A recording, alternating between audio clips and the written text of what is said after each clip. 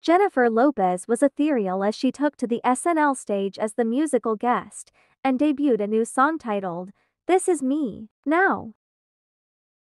Lopez appeared on the SNL's latest episode alongside host and The Bear star, Ayo Edebiri, whose past negative comments about Jennifer recently resurfaced.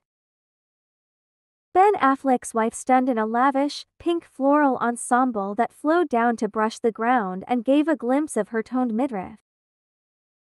JLo's locks were combed back into a sleek bun, preventing any loose strands from falling onto her face as she sang the moving track. During the performance, Jennifer belted out lyrics to the upbeat song, with some seemingly referencing to her relationship with husband Ben. Lopez also showed off her dance skills and was joined by three backup dancers as colorful lights lit up the stage. To kick off her first performance of the night, Jennifer Lopez performed the track, Can't Get Enough. Lopez flaunted her toned frame wearing a white cropped top as well as a pair of black trousers that contained cutouts around the hips for a sultry flare.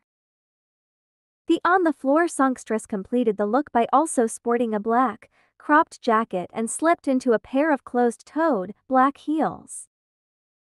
At the end of the night, Ayo and Jennifer Lopez stood next to each with Latto also next to the actress to conclude the fun episode.